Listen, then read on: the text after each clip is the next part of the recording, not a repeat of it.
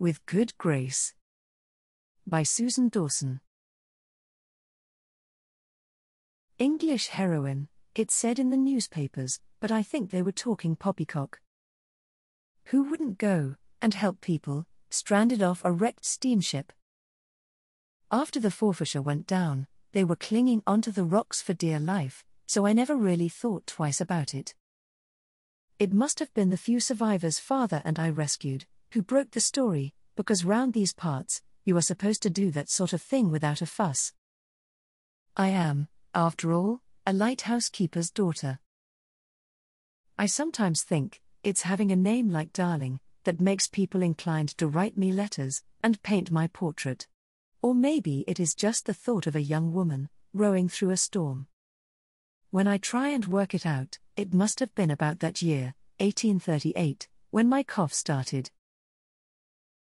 Now I have a much more difficult journey to make, and this time, one that won't get me a silver medal. Nor would it be eased by another £50 from the Queen. At least with that, I have something to leave my family, as well as these little gifts I have made, for those who can get to see me. Thomasin is already here, Grace's chief nurse, she calls herself. I really wanted to carry on living at the lighthouse, but conditions can be bleak out there, and father wanted to see if some country air might help. Even a bracing breeze and wonderful Cheviot scenery couldn't shake off this awful consumption, so it was decided I should return to coastal parts, to be nearer to home. I do hope Mam arrives in time. She's normally reluctant to leave Longstone Island, and has hung on too long for news of me, so I pray the stormy weather allows the Coble to get across before the end.